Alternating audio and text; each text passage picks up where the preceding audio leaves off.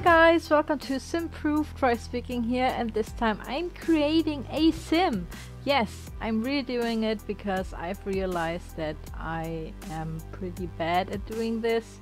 So I try to create a sim every week now to improve my sims grading. I don't know how you call the skill, but I'm pretty sure something like that. So um, yeah, I basically um, try to yeah improve my skills here and get used to the options we have in the Create a Sim tool. So since I'm only a builder, I'm like going to do this regularly every week. I'm trying to do at least one sim. So for the guys out there who like to watch cases, that's like the short for Sim, they can be happy now because I'm doing much more of them now. And yeah basically I just um, try to do the sims that I just want to do. So maybe I'm going to do sims that uh, I've been tagged for in challenges for example so other YouTube simmers have like created a challenge like for um, create a vampire or create I don't know a plant sim or something like this.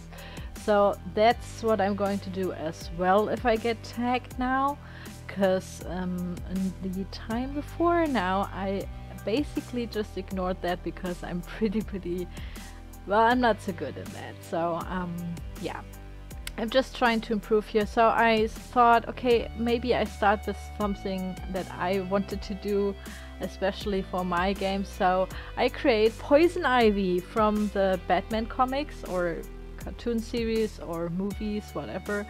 So um, I always like the character since I'm like a little girl and I always liked that, you know, like a super villain that's a, basically actually a good person because she wants to save the environment. She wants to have a green planet and uh, like clean air and basically think that she is a very interesting supervillain because actually she is a good person but she tries to achieve her goals by, you know, killing people and destroying stuff. So, which is considered bad, of course, but I always like that she is like not so bad and she's not doing it for the money or she's not doing it for revenge or something. I always like that she actually was a good-hearted soul, so to speak. So that's what I always liked about Poison Ivy.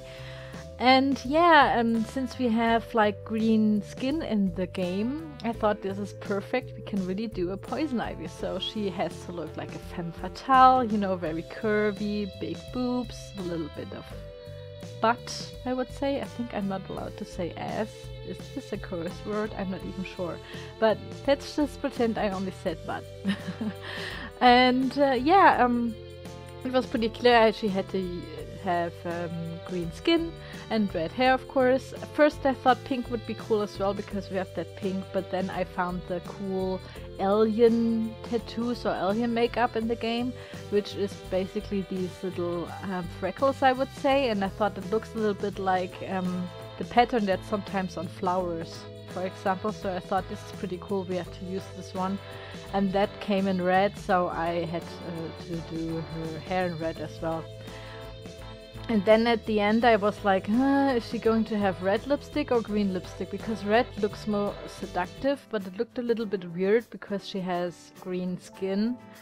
So in the end I of course chose the green lipstick. And yeah I think it looks very very nice. And then since she is like a plant simp sadly we, do, we don't have tattoos in the game that are like leaves or like flowers for example. That would be really really awesome and perfect for the sim but yeah I think that the alien ones are fitting as well. So I chose the lilac color. I think they're lilac or dark red and I yeah I like them. They look pretty pretty good. Or did I do them in green? Yes yes yes. She has green tattoos. I'm so sorry. Um yeah and of course she had like the sexy dress. I already um picked that out before I even started. The sim. And yeah I thought this is like the perfect dress for Poison Ivy. And since she's like a super villain or superhero or whatever she has to wear gloves because gloves are pretty necessary. I hope you like her I think she looks pretty sexy and you can, yeah, you, you, you know what kind of um, sim she is. I mean, you can recognize her as a poison ivy, I would think so, so, or like a sexy plant sim or something like this, so I think it fits very well to the theme.